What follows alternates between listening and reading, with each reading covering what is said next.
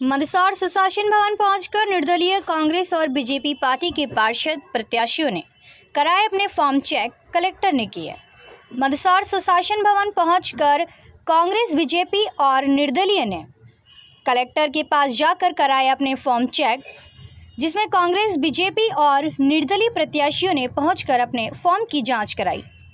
जिसमें मंदसौर ब्लॉक कांग्रेस अध्यक्ष मोहम्मद अनीफ शेख द्वारा मीडिया से चर्चा करते हुए सोमवार को बताया कि यहाँ पर एक से लेकर चालीसी वार्डों के जो पार्षद प्रत्याशी हैं, उनके द्वारा पहुंचकर अपने अपने फॉर्म को चेक कराया जा रहा है, जिसमें कोई कमी नहीं हो। उसको लेकर मीडिया से चर्चा करते हुए बताया कि कांग्रेस जिला अध्यक्ष के नेतृत्व में यहाँ पर हम लोग मौजूद हैं। किसी भी कांग्रेस के प्रत्याशी को कोई परेशानी होगी तो उसको लेकर हम लोग यहाँ मौजूद हैं। पर हम लोगों द्वारा और हमारे लॉयर द्वारा पूरी तरह दस्तावेज़ यहाँ पर लगाए गए हैं। मंदसौर नगर पालिका के बीजेपी के पूर्व सभापति रामेश्वर मकवाना द्वारा भी मीडिया से चर्चा करते हुए बताया कि यहाँ पर पूरी तरह फॉर्मों को चेक किया जा रहा है और मीडिया से चर्चा करते हुए बताया कि नगर में चालीस वर्षों से भाजपा के ही अध्यक्ष बैठे हैं नगर पालिका भाजपा की ही बन गई है और अब उन अन्य विषयों पर भी मीडिया से चर्चा की गई है।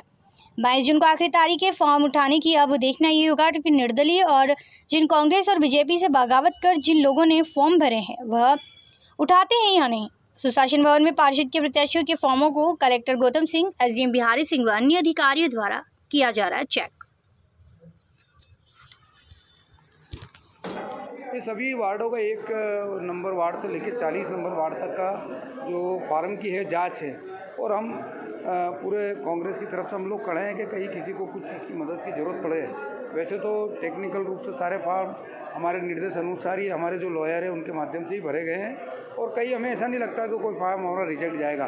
पर फिर भी पार्टी के आदेश के अनुसार, जिला कांग्रेस अध्यक्ष जी के आदेश अनुसार हम लोग यहाँ हैं। और अगर कहीं भी कुछ लगता है कि भाई उसका फार्म रिजेक्ट हो रहा है या कोई कोई कारण है तो उसको हम तुरंत रूप से कानूनन रूप से उसकी हम मदद कर सके। इसलिए यहाँ हम सब लोग खड़े हैं। और अभी तक तो कोई ऐसे फार्म की आया नहीं कि कोई फार्म रिजेक्ट हुए हैं। वो जो टेक्निकल त्रुटि छोटी मोटी है तो वो तो खुद ही सुधार है, लेकिन अभी तक ऐसा कुछ आया नहीं। वार्ड क्रमांक शायद दो फार्म अभी कुछ रिजेक्ट हुए हैं। वो एक तो पिछले का प्रमाण पत्र नहीं लगाया और एक ने प्रस्तावक अपने दूसरे वार्ड से लगा दिया। तो ये कोई वो नहीं है। इसीलिए आज सारे हम लोग लगे हुए हैं और अभी बाईस नंबर वार्ड तक तो हो गया है और शीघ्र सारे ही हो जाएँगे। रूटिंग प्रक्रिया है और हमारी पूरी पार्टी एक मत हो गई, एक साथ सारे फार्म भरे हैं, सारे फार्म वैलिड है।